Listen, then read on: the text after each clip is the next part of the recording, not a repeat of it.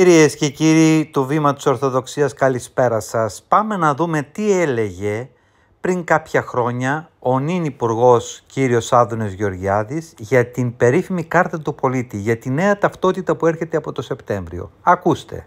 καιρό και θυμηθείτε το, είναι κάτι φρικόδες. Δηλαδή; Όσοι έχουν διαβάσει το βιβλίο 1984 του George Orwell και διαβάσουν τι σχεδιάζουν με την κάρτα του πολίτη θα πούν δεν είναι δυνατόν. σχεδιάζουν, γιατί; Ό,τι έγραψε ο Orwell γίνεται. Δηλαδή; Σε Το- μία το- το- καρτούλα, Ναι. καμία σχέση, θα μπαίνουν όλα τα δεδομένα ενός εκάστου. Δηλαδή, Όχι ποια μόνο είναι όλα τα βιομετρικά. δεδομένα; Δηλαδή; Όχι μόνο φορολο- φορολογικά, βιομετρικά, υγείας, DNA, πολιτικά φρονήματα, φάκελοι που λέγαμε παλιά, τα πάντα. Θα είναι μέσα στην κάρτα.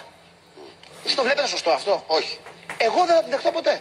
Προφανώς δεν το βλέπουμε σωστό. Εγώ δεν θα τη δεχτώ Εάν ποτέ. είναι έτσι όπως το λέτε, φυσικά οι περισσότεροι Εγώ διαφωνούν δεν θα με τη το δεχτώ πιστεύω. ποτέ. Εγώ η ιδέα ότι θα ελέγχει κάποιος όλη μου τη ζωή δεν μου αρέσει. Δεν θα τη δεχτώ ποτέ.